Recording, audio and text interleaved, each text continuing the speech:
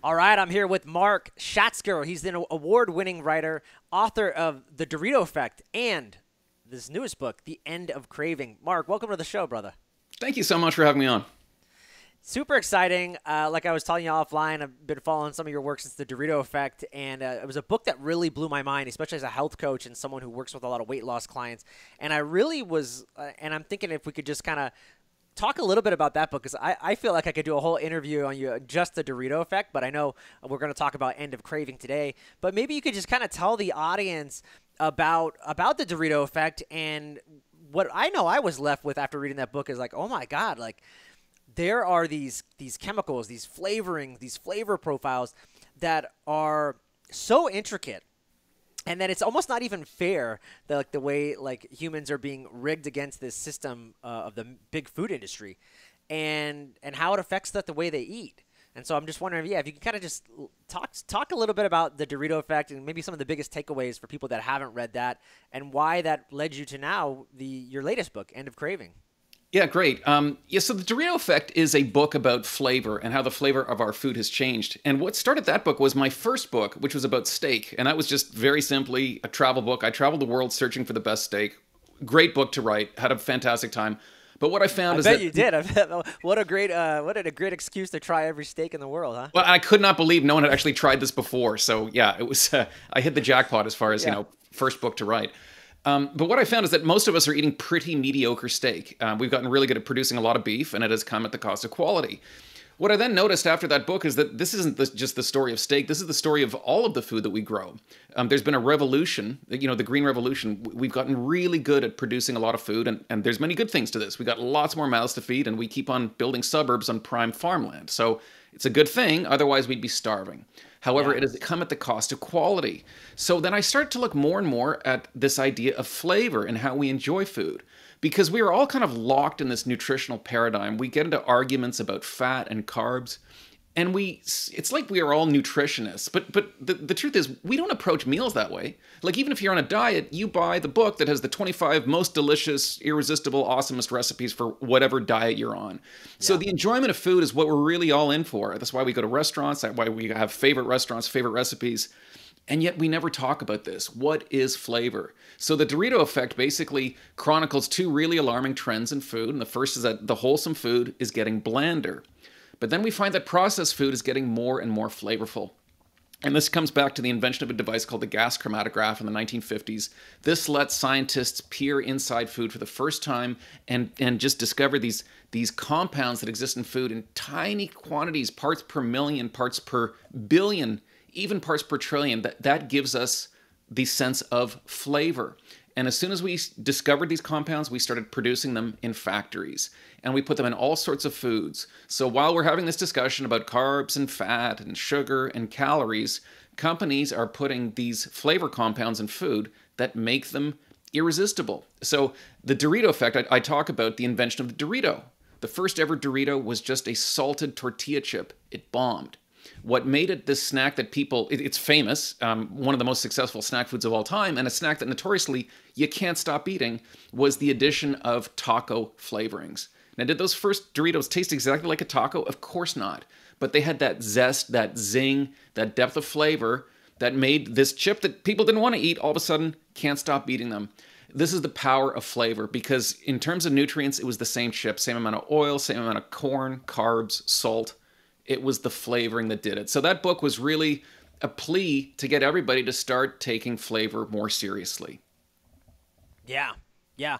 I mean, uh, and these these these um, food scientists. I mean, they're making also chemo the some of like the profiles that they're making, right? I mean, would you say too? It's like they're making profiles or even sugar compounds that are just beyond what we could ever naturally get from like you know the sweetness or or even like the profile of just normal food, right? And I feel like because of that, it's that is really it's like a tripwire. I mean it. It's that's why I kept saying it's we're like almost rigged like against us because you you could never in natural in a natural environment or nature get some of those profiles, but they're creating that in food. And so then when you go back to have regular, you know, quote unquote regular food, you're like, this tastes terrible. Like my taste buds don't like this. I want the sugar. I want the sweeter thing. Or yeah, and and it doesn't help that that regular food has is kind of disabled by the fact that it's all getting so bland. The, the bigger concern for me is is what I call the nutritional context of flavor. So I asked a question in that book that we amazingly never ask, which is why does food have flavor? It's a really important question because we have this amazing flavor sensing device in the middle of our face, the nose and mouth. Flavor is a combination of the aroma of food that you sense as you eat it and the taste that you experience with your tongue. If you look at your DNA, the thickest chapter is on making your food sensing equipment, and yet we're all having this abstract discussion about calories and, and so forth. The interesting thing is, you ask, well, why do we have this flavor sensing ability? Why does a carrot taste like a carrot, and why doesn't it taste like an apple? Why does chicken taste like chicken? Why does a hot dog taste like a hot dog? It's because your brain associates the chemicals it can sense, these aroma and taste chemicals, with the nutrients that it senses as it metabolizes food. So if you look at something like a tomato, science has shown us that the flavor compounds that really drive a tomato like and that make this tomato taste awesome, they're all synthesized from essential nutrients in a tomato. So you can consider the flavor of a tomato being like this big sign saying to your brain, hey, there's really healthy stuff here, you should eat me. Well, this works beautifully in a state of nature where tomatoes taste like tomatoes and better tomatoes taste better and are better for you. What then happens if we capture these tomato flavors in a bottle we analyze them, we start cranking them out in a factory, and we put them in ketchup flavored potato chips. All of a sudden, you've got this flavor profile of a tomato that your brain goes, yeah, this is this is supposed to be good, right? But now the nutritional context is totally different. Now instead of getting fiber and vitamins and and minerals and antioxidants, you're getting fat and carbs. Um, so I think this is really where it gets alarming is it's really confusing your brain. We did not evolve to live in a food environment where there's essentially flavor chaos happening, but that is the environment we live in now. Yeah. Awesome stuff. And now, you know, and then that led you to your latest book, The End of Craving. What what made you feel like I got more to write here? I got to there there's something still not left. Well, two things. The first was that in the Dorito effect, I realized that flavors, that this sensory technology was fooling the brain, but I knew it it wasn't just a matter of fooling, that it must go deeper, that that it's important to understand how the brain works to really understand why this is going wrong.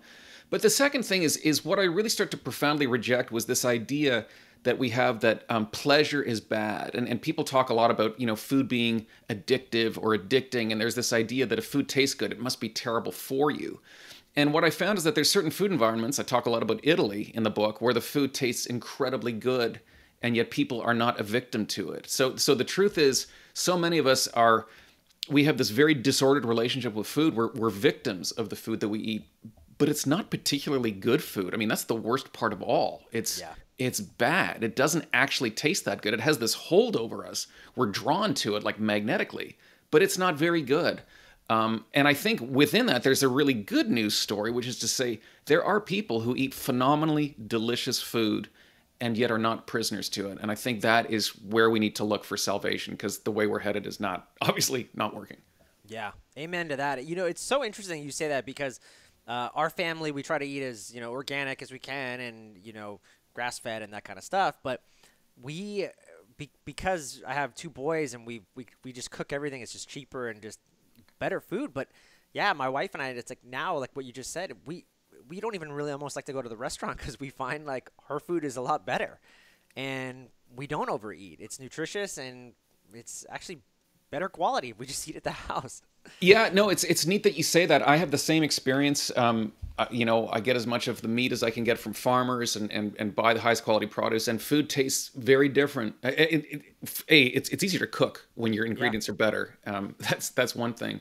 But I think what you're also keying on to is that the experience pleasure of food is actually complex. We talk about deliciousness, but the deliciousness of a Dorito is really, really different from the deliciousness of, let's say, a good glass of red wine or what I would consider a great steak. One is just about sort of mindlessly putting the next bite in your mouth, and the other is this sort of immersive experience of of deliciousness and also wellness. And also the satiety after meal. We never talk about that. Some foods, like people almost joke about like the food hangover. Good food is not supposed to make you feel lousy. That it's supposed to nourish you. Yeah. Um, so this is something you understand, and I think it's important that more people understand that food is is actually like there's there's more dimension to this experience of eating and deliciousness and pleasure and satiety, and I think it's really important to develop that language and, and understand that because otherwise, that's that's one way to kind of break out of being kind of a victim of it. Yeah, you know, you mentioned the Italians uh, just right now, and that was a great chapter I thought in your book. And I wonder if you could just kind of talk about it because you you illustrate. You're like, hey, we have these northern Italians who eat pork fat, uh, lots of cheese. Um, they drink their wine. They have their olive oil. They have all these things. And if you're looking at a macro for macro kind of comparison, and you're looking at the northern Italians to like some southerner in the United States who's eating pork fat and sweet tea and all these things, well their macros are kind of like lining up the same, but yet there is absolutely no obesity problem in northern Italy, but yet we have that here in the southern United States. So, what's going on there? Yeah, the, um, northern Italy is what really intrigued me. Um, for, for, the following reason, we tend to think uh, we have this long tradition of thinking that delicious food is dangerous. There's this idea, um, you know, if it tastes good, spit it out like you know keep it away from me. I can't control myself. So we think that you know it's it's basically this delicious food that's taking us to a bad place. Well northern italy is a really interesting place because it is um, bologna particularly is considered widely to be the culinary epicenter of italy. That's controversial because italy's i think filled with culinary epicenters but the food in bologna yeah. is insanely good. This is also a population that is obsessed with eating. They have a chamber of commerce where they have a repository of official recipes. They basically said as a group, we're going to get together and say, this is how you make lasagna. This is the one true way. This is the one true way to make tortellini. They have like 35 of these recipes. They keep on adding to them. So there's kind of a sense you would think of food obsession. Um, they have a kind of, it's almost like a religious group. It's called the Apostles of the Tagliatella. That is their favorite noodle. And they have these, these men who describe themselves as apostles. There's another group that worships tortellini, which is sort of like a ravioli, but sort of twisted differently. It's really interesting to look at pasta because what's it? What do you, how do you make tagliatella with with flour and eggs? It's carbs and fat. So they they worship the two macronutrients that we've been like hair on fire screaming about for 20 years. Um, you would think with this fixation they have on deliciousness um, and, and, it's it's not. I mean, this is not just their own opinion. Everybody loves to travel to Italy just to eat as they eat. Their gelato, if you've ever tasted it, you're like, wow, their ice cream just blows ours away. Yep. Um, how is it that they're not the plumpest in the world if their food is is objectively so delicious? In fact, they're stunningly thin. The rate of obesity in northern Italy, where they don't eat a Mediterranean diet, it's not all about grilled fish and legumes and olive oil. I mean, it's like pork fat, uh, salumi, salami, um, yeah. pasta, cream sauces. Um, th- they really don't look like they're watching their weight. Like you, you're absolutely stunned to see what they're eating. How could they be so trim? Their rate of obesity is less than 8%. We're over 42% here. It boggles the mind. So I started to really look at Northern Italy and say, well, what's different about this place? And I started to look back in time. And in fact, if you go back in time, there was a time when Northern Italy was very similar to the southern US. Um, both very poor, agriculturally backward and both had kind of a corn based um, agricultural system. And they were both suffering from a disease called pellagra. It literally means um, rough skin in Italian. And for a long time, nobody knew what this was. It was, it was raging in Italy um, it was a, a, an epidemic, and it would start with farmers. They'd get like these skin scales. The scales would spread. They'd get diarrhea. They'd lose their appetite. They'd get demented. Sometimes they would do things like attack children. There's a case of one guy cutting off his own genitals and throwing them out the window, and it would resolve in death. Um, it affected women more than it did men. They didn't know why. They had uh, asylums but they, just, like, what the heck's causing this? They had the strangest theories you can imagine. They thought spores would get into the blood and burst into flame. Well, then in 1904, suddenly pellagra appears in Georgia. And it is a pandemic because it spreads throughout the southern U.S. To, to the point that the southern U.S. is called the pellagra belt. And, and much like obesity, there was this rotating cast of experts that they all knew the answer. It's caused by sandflies. No, no, it's caused by uh, mosquitoes. No, it's caused by unsanitary conditions. Well, the discovery of the cure to pellagra was a major advancement in our understanding of food. Um, an epidemiologist named Joseph Goldberger realized it had to do something with diet. Nobody would listen to the guy at first, but he could cure it by getting people to eat different things. He even caused pellagra by getting a bunch of prisoners and feeding them this southern diet. Um, and he even would have like uh, filth parties where he would take like like like the bodily fluids of people suffering from pellagra and, and make a dough out of it. He fed it to his wife, he fed it to himself, his the people who worked with him, they didn't get pellagra. Finally people realized this guy's right, and eventually we discovered the cause. That there was something some kind of essential element in food that you need just to live. If it's not there, you're gonna die. And we eventually realized this is what we now call niacin or vitamin B3. And um, this changed our understanding of food. We, you know, this changed our understanding of nutrition. That food isn't just food; that it's made up of, of various different chemical constituents, which are essential to life in different ways. But what's so interesting about this experience of pellagra in these two different countries is how they responded to it, um, because the American response was to say, okay, well, clearly we see here there's something wrong with food because food can be food, but it doesn't nourish you. And there's something wrong with us because we don't know what's good for us because here's all these southern farmers eating, eating this diet that's making them sick. So the response was to pass the enrichment laws. In the early 1940s, uh, the American government passed laws that technically encouraged, but basically made it the law that uh, refiners and millers of, of, of, flour had to start adding B vitamins. They added niacin, but also riboflavin and thiamine, and also iron. First, it was just to white bread, but then it just made its way into all of our processed carbs. It's in donuts, it's in rice, it's in corn flour, it's everywhere. And it had, I mean, it was just remarkably successful. Overnight, pellagra is just gone, poof. It, it just worked so beautifully. Over in Italy, it, I mean, the response was almost hilarious. It was like a bunch of peasants. They said, well, I guess farmers, maybe they should um, they should bake bread in communal ovens and and they should they should grow rabbits because rabbits are you know a cheap and easy form of meat to raise. And some people even said they should drink wine. And you're just like scratching your head like such morons. These people have a nutritional deficiency and you're saying you know have a glass of vino? Actually wasn't bad advice. They didn't know the reason but the wines back then weren't particularly well filtered. They had lots of yeast. And guess what? Yeast is like packed with niacin.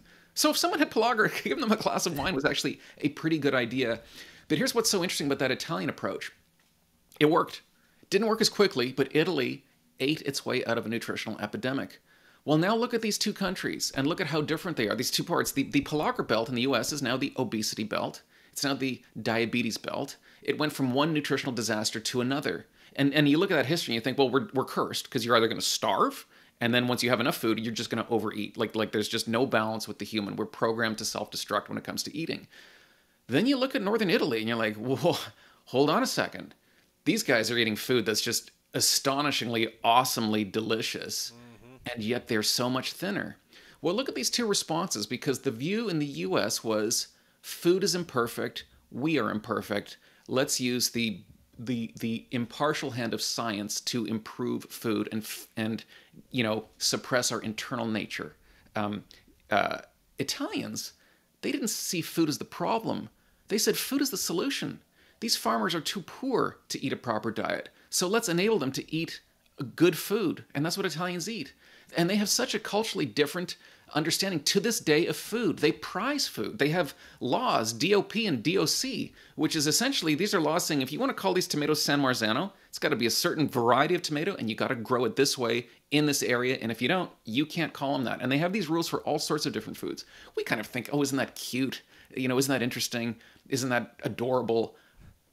It works. I mean, their relationship with food is so much better than ours. What we've been doing is for a hundred years, we keep on improving food. It started with fortification and enrichment, but we have artificial sweeteners, we have fat replacers, um, we have flavorings. We keep thinking we can do a better job of making food than Mother Nature. And my assessment is that's false. We can't, and it's taking us to a very bad place. Yeah, there's this there's this part in the book too where you, I think you ask a an Italian chef, you ask him like, "Hey, like why, you know, what is like one of the what what is so different between like Americans and and Italians?" And he says he kind of like paused and then answered you and said, "Well, we like actually cherish the the experience of food." Whereas yes. you guys just like eat to eat, like it's just like a thing, like oh yeah, I'm just gonna eat, like and I and just that idea of like we're on the go, we're going somewhere, and you're just jamming something in your mouth just so that it can you can get to the next place. Whereas in Italian, it's like, and I've been to Italy, I studied there for three months. It's like no, uh, this is this is an experience. Like we're gonna have six piatti. You're gonna sit down. You're gonna have you know a salad, a risotto. It's it's a, like there's like six different courses before you finally get to the very final one. Like that's a, a meal. And so hearing him say that, like what, what you're just talking about, wow, like what a different experience when it comes to surrounding food. You know. Well, and one of the most interesting pieces of data I came across is that if you look at Italians, you can also this also applies to the French. They eat on average a lot fewer calories than we do, like substantially fewer. That's why they're a lot thinner. And yet it takes them like almost twice as long to consume those calories. It doesn't make sense. It's like it's like if it took you longer to see the same movie as me, you're like, well, how does that work exactly? but their meal experience is just profoundly different than our own. Um, and it's it's so funny when you go there. They even think things like, why would you want a cup holder in your car? Because um, because you should be enjoying that coffee.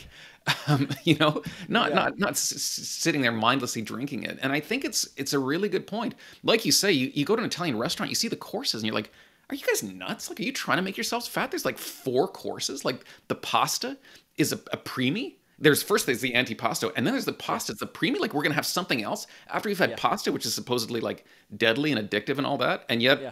man, they're doing great. Yeah, you there was something I wrote down too in the book, and you said uh, talking about that whole idea of enriching and fortifying our foods with B vitamins. Now, you would think this be a good thing, like you're like you're talking about the whole pellagra, but you said with great obesity comes great B vitamin intake. Why are these B vitamins causing us to be fat? Yeah, th- that's a great question. So, so yeah, because so the first difference that I talked about is this sort of metaphorical difference in terms of one culture thinks food is deadly, the other culture thinks food is wonderful. But then the other thing I've looked at is, you know, what if there's more to this B vitamin thing than meets the eye? Uh, you know, what if in the short run it cured pellagra, but what if in the long run there's something else going on? And that gets us to the point of what is the point of vitamins? You know, we have this idea that calories are deadly and vitamins are like the forest elves of nutrition. They're just they're just implicitly good and wonderful. The more them the better. This is a naive tr- view. The truth is you're going to die without calories. Most of us consume too many, but if you don't get calories, you're going to die without a question. Um, but the other point is that they're they're kind of entangled. Um, you need vitamins to metabolize calories, and this is the interesting thing about that southern diet. Remember, I talked about how these these southern farmers were were dying of pellagra. The diet they were eating was insanely rich in calories. The the pellagra diet was grits, which is corn flour, mixed with pork fat and molasses.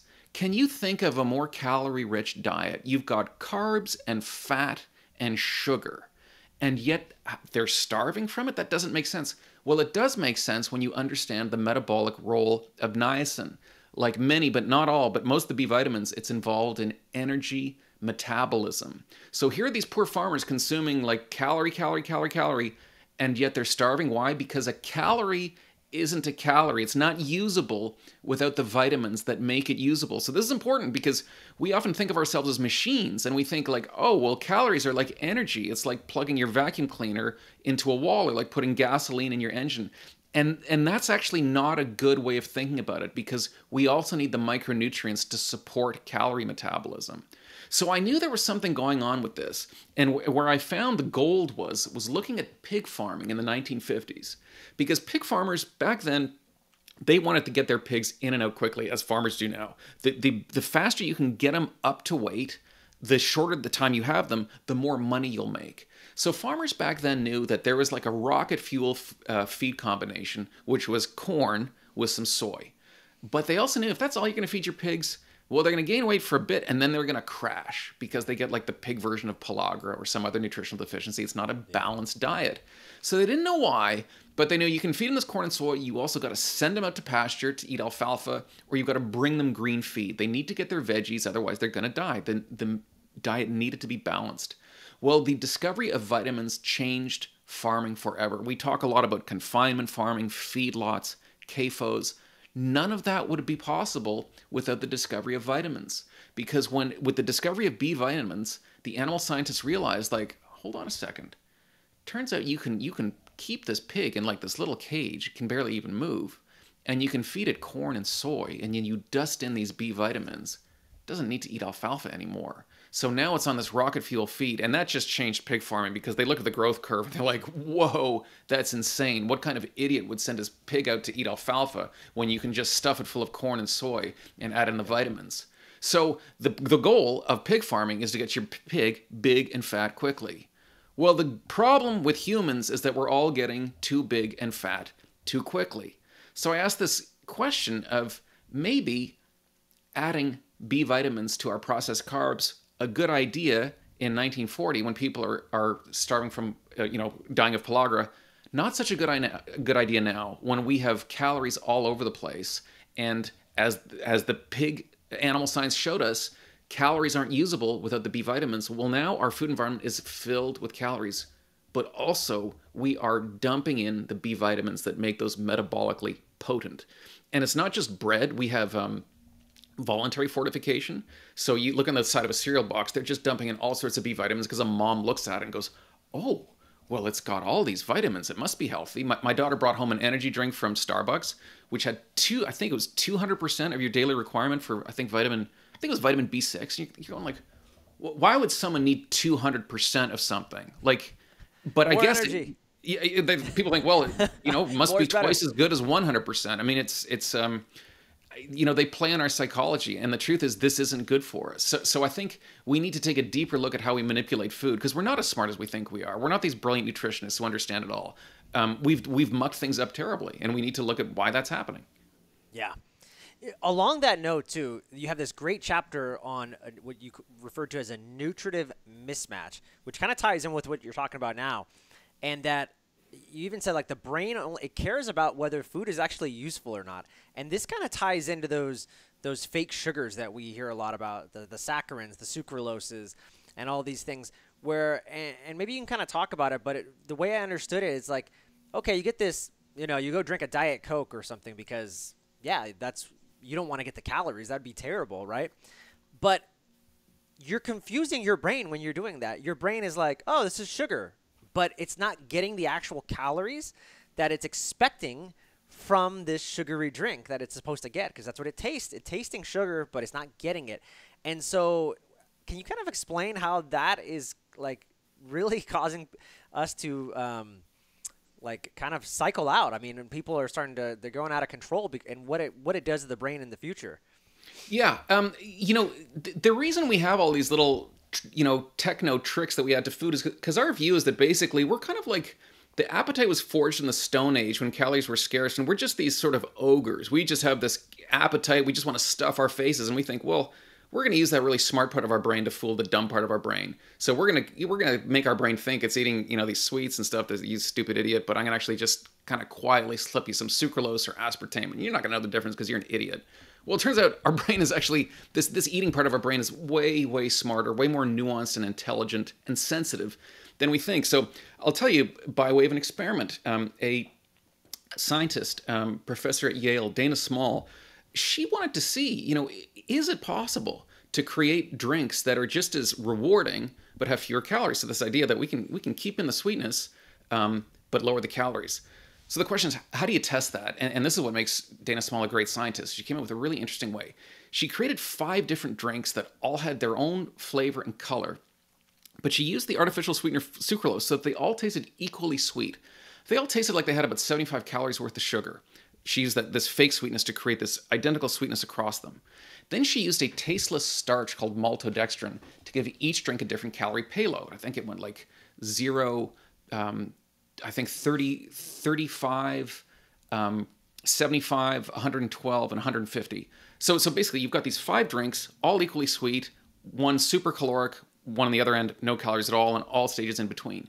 She give these, gives these to subjects, and they drink them. Um, their brains, you know, sense them. They sense the sweetness. Those calories get metabolized. And then she invites them back and scans their brains as they consume each of these drinks. Now let's just pause for a second and think, well, what are we going to see in those brain scans? Are, are all the drinks just going to be identical because the we just like sweetness, so if they all taste equally sweet, they'll all be equally rewarding, delicious, whatever word you want to use. Mm-hmm. Or is the brain in fact smarter and it's go, no, no, it's actually that 150 calorie drink that I like because it's calories that the brain wants because it's this, you know, ogre moron that wants to stuff its face full of calories.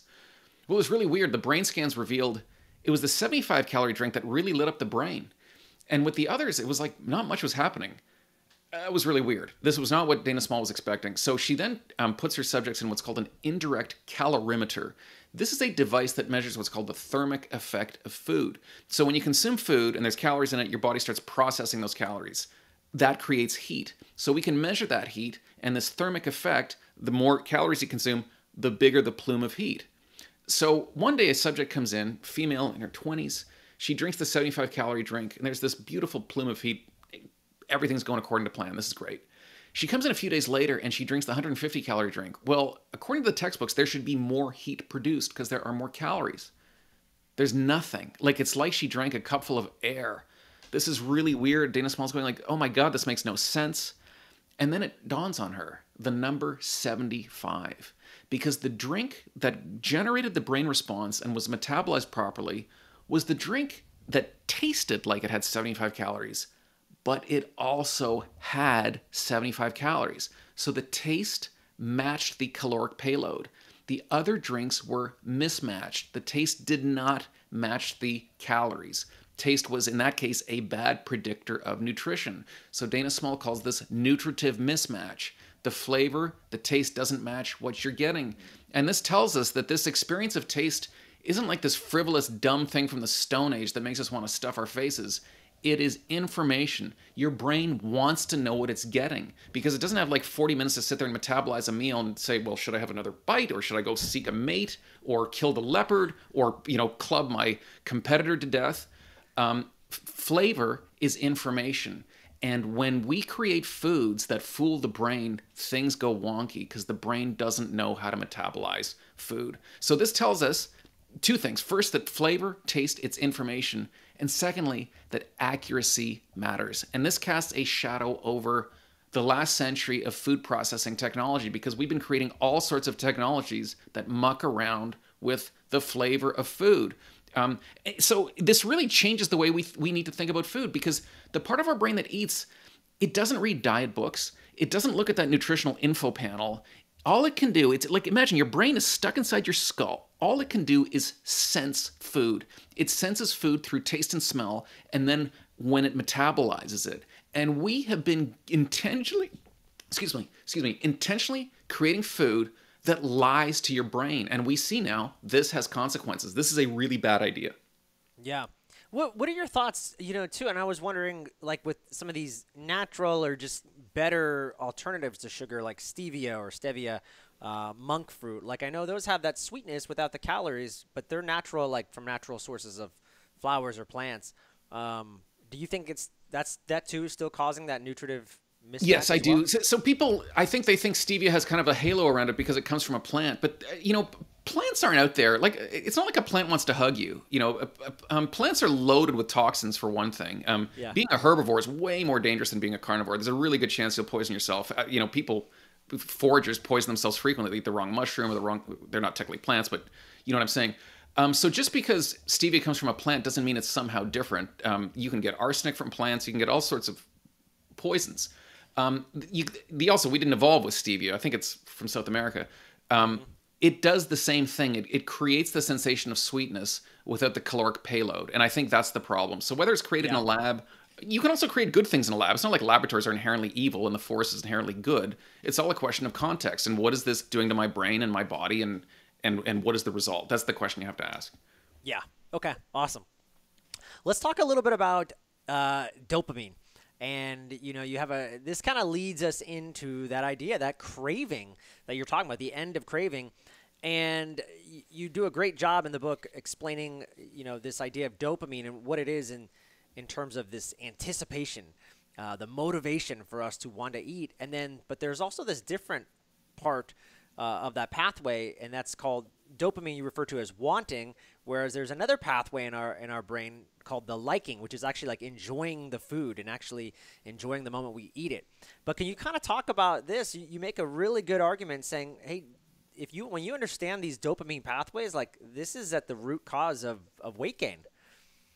Yeah, so so it's important to talk about dopamine because for a long time scientists thought dopamine was the pleasure neurotransmitter. And that leaked its way into popular culture. Science now knows that's not the case, but popular culture doesn't. So you'll hear people a lot of time talking about dopamine. They say, oh, your brain wants that pleasure hit. We got to be really careful about that Dopamine's involved in what's called the reward system, but it is not what we think of as pleasure. This was discovered by a scientist named Kent Berridge, who he started out, who he, he initially thought that dopamine was pleasure. And what he found was um, he just did these simple experiments. He would give rats a drug that would reduce dopamine in their brain and then, you know, squirt some sugar water in their mouth and they still like the sugar water. They would like stick their tongue out and lick their paws. And he's like, that doesn't make sense. And then he lesioned their brains. He like wipes out the dopamine cells. It's gone.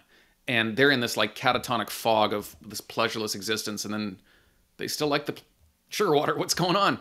So then he does something else. He cranks up the dopamine. And now the rats are like voracious eaters, which you'd think, okay, eh, looks like pleasure, but no, because they're like making these like facial expressions like I, I can't control myself, I, I, can't stop eating.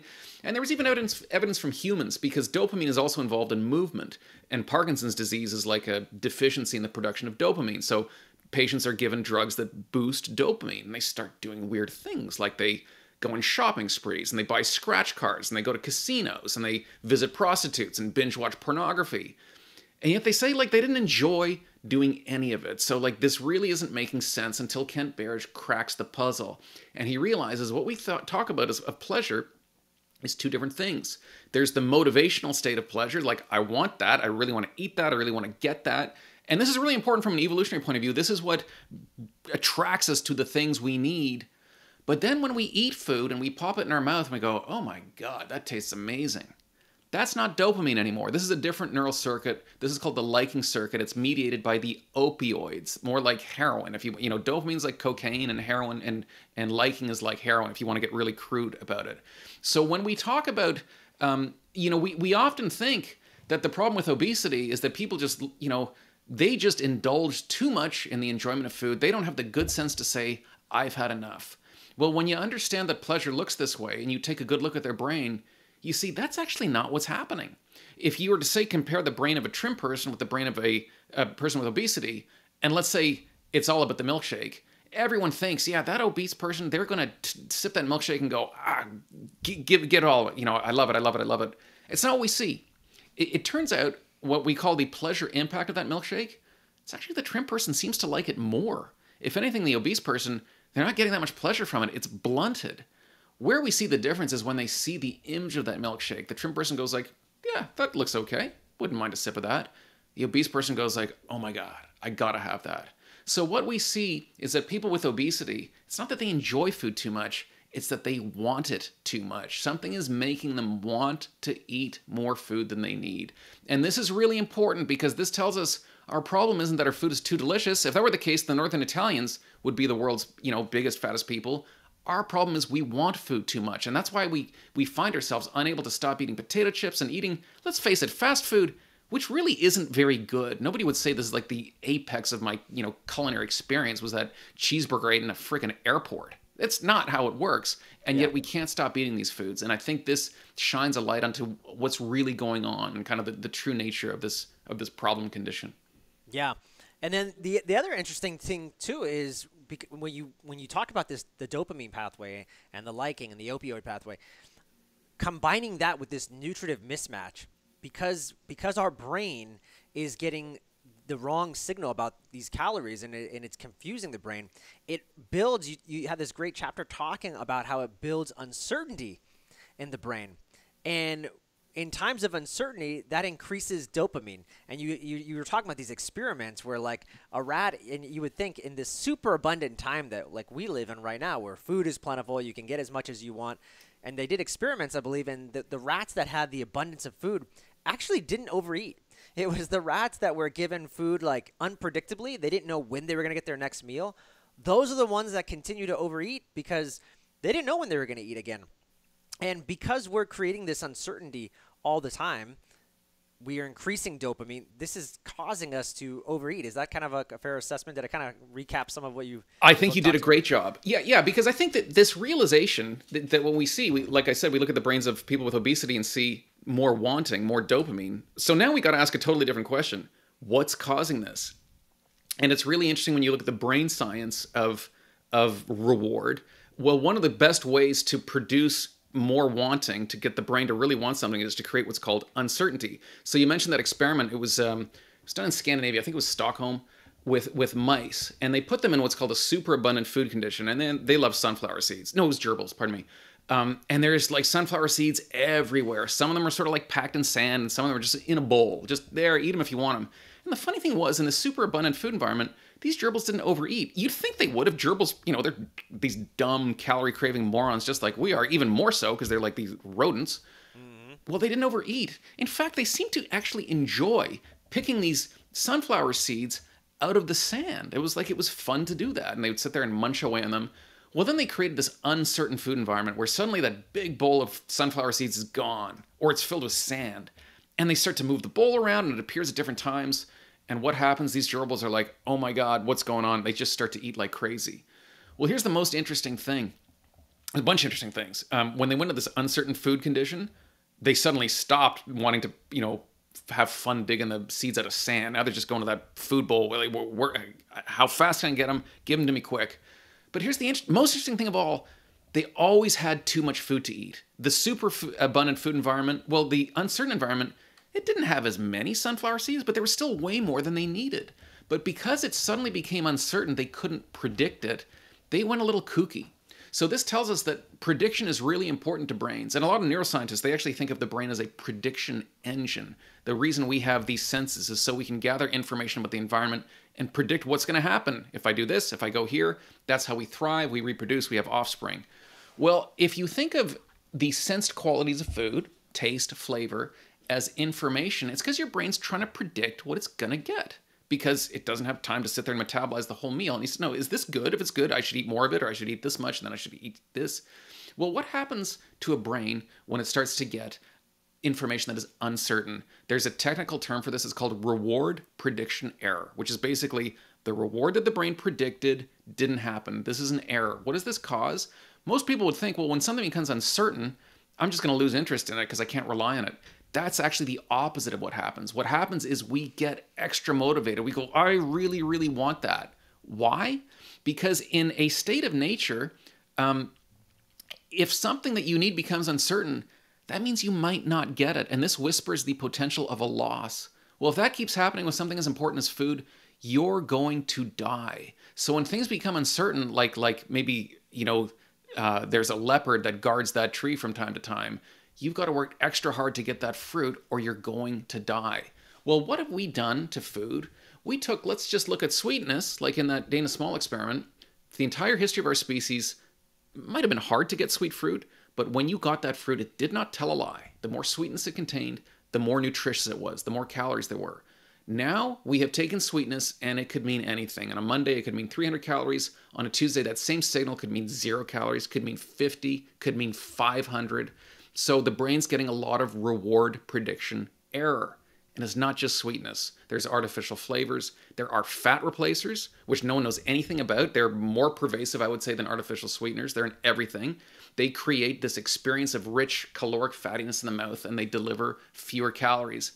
What a great idea if your brain's an idiot. What a terrible idea if your brain's actually really smart. So we've created a food environment where flavor and taste just they're just all over the map. It's chaos. And what do we see? Brains want to eat more food. Why? Because we've created this uncertainty, too much reward prediction error. We've cranked up dopamine. We've induced this this desire to eat. It's uh, it, when you look at the brain science, it tells us why this is happening. Yeah, so amazing. Um, all right, so how do we fix this? Um, what do we do? You you have um, there's this uh, towards the end. There's this chapter you talk about the binge eaters and um, and how they ran some experiments. You know, we know it, so we know all these things about uh, the dopamine and the nutritive mismatch, but at the end of the day, people are still going to be stuck in this this craving loop. So, can you talk about a little bit about how people can prevent some of that, that binge eating when, you, when we're talking about the, the dark chocolate experiment and the, the potato chips? Yeah, so so you know most of us think that if we want to lose weight, um, it has to be a state of, of kind of denying ourselves pleasure, kind of a permanent state of, of, of, of sort of just this gray, bland existence of, of denying ourselves the pleasures of eating. Um, some of the most fascinating information. This book was filled with a lot of really interesting experiences. But I, visited a clinic in Germany. A woman named Anja Hilbert, scientist who runs her clinic, handles some of Germany's most disordered cases of eating, um, and she has a really different take on pleasure than most scientists. As she thinks it's essential. She says when you look at somebody with obesity, to just expect them, you know, food plays such an important role in their life, to just expect them to stop eating, not going to work. It, it's it's actually cruel to even think that. Um, but what she found is is this experience that we call liking. This can be used as a tool to diffuse wanting. So she found her her binge eaters. Um, she she would tell them that when they got this desire to, to binge eat, and, and I mean binge eaters will really just eat a spectacular quantity of calories in a very short time.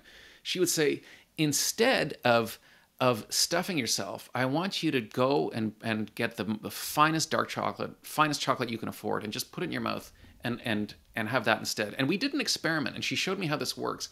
This was so interesting because it really acquainted me with these two different experiences of eating. We both call them pleasurable, delicious maybe. They're both very different. So we started with a bag of potato chips, and she said like look at the package the flavor was cheese and onion she said open it there made this pop there was this whoosh of aroma and i wanted to eat them and she said you can you know you can pick out two chips and, and the chips just look pristine and wonderful. And she's like you can nibble the edges and then she said you can rub them together. And i was like that's weird but i rubbed them together. And it was just astonishing. I wanted to eat those chips so bad like it it hurt. Um, and it made me aware that there are foods that have been cunningly crafted that they really don't stimulate this liking circuit. Potato chips, you know, we don't really talk about, wow, there was that great bag of potato chips I had in 2003 um, in California. What a fantastic bag of chips that was. We never talk about it. And when you start to think, next time you have a bag of chips, think about it. You put a chip in your mouth, what is your next thought? It's like, well, once that crunch is gone, you're like, I want it, I want it again. So it's really just about this this sort of vicious circle of reinforcement, just wanting to get the next bite. That's to me a very primitive way of eating. That's just sort of feeding. That is stuffing yourself. Well, the next thing she did, we, we put those chips away. She, I threw them out. I never even got to taste them. I just got this powerful sense of how badly I want to eat them. Then she gives us this little dark chocolate. And she said, just let the heat of your body melt it. And at first, nothing happened. I was like, what's going on?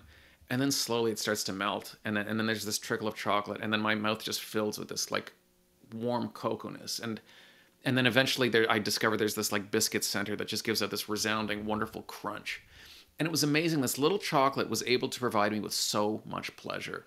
And she's seen in her own patients with binge eating disorder, it can this this you know waterfall of liking can can put out this fire of wanting.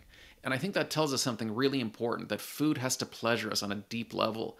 And in fact, that maybe one of the tools in fixing what's wrong with food is actually creating real wholesome food that delivers true liking. And I think this is very exciting because it tells us um, that actually the way out maybe isn't dismal and boring and painful, but can involve some what I would consider the, the true joy of eating.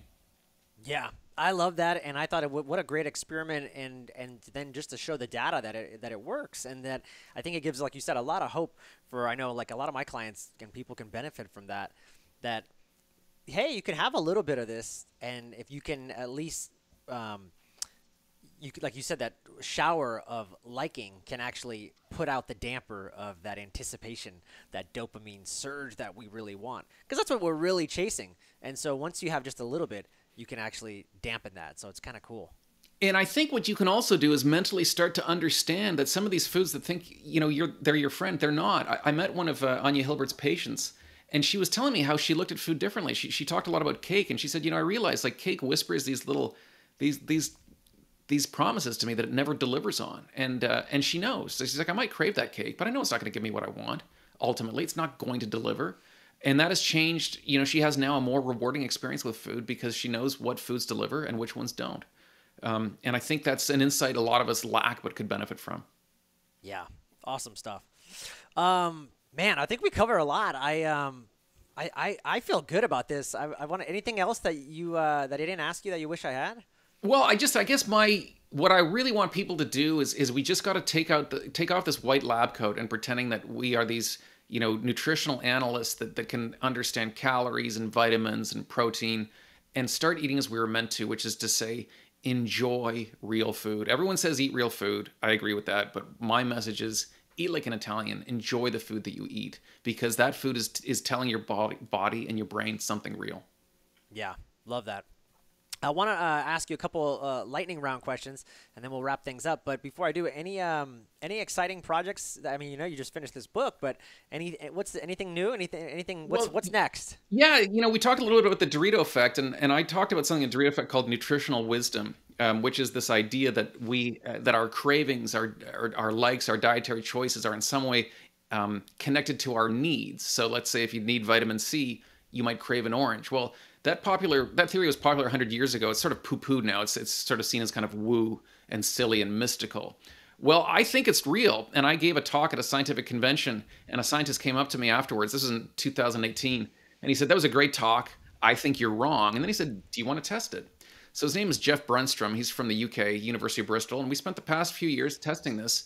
And we've generated the first data in almost a century that shows, in fact, that our our food choices are connected to our need for things like vitamins and minerals. So so that's exciting and I think that tells us, you know, you don't necessarily need to buy those vitamin pills. You just need to eat wholesome foods that but, you know, pack a good nutritional punch. That's exciting. I you know, and that's it's funny because I actually thought I had read in another book a long time ago talking about the hypothalamus will actually regulate that in the brain and the body in that if it's missing certain micronutrients, your brain will try to get that obviously from food. And, and, maybe I even heard you on an interview um, talking about the same thing with phosphorus and, and you know how uh, an animal will get maple. They know that phosphorus is in maple syrup, and so if they're missing that micronutrient, they might gravitate to foods like that. So I, I don't know. I wasn't too. I'm I'm glad you did that experiment because that would make sense to me that it. Well, it, it, it, it makes a lot of intuitive sense, but for various reasons, science has, has sort of decided it, it, didn't like that theory. I think it's coming around now. And the maple syrup thing you mentioned that was from an experiment, but but where we see this in animals is is if um, you know cows become deficient in phosphorus, they'll start to chew old bones. So you're like, well, you know, what did they read that in a book? No. Yeah. so yeah, so I think there's a lot of evidence, and and to see that it works that way with humans, I think I think it's also important because it tells us if if flavor is the cue for nutrients, all these flavors we're dumping in in processed food, bad idea. Yeah. Yeah. Awesome stuff. Um, you ready to jump into some lightning round questions, and then Let's we'll do it. we'll wrap it up. All right. Um, I'm curious. You know, what are what are some choices that you think you made that made you who you are today?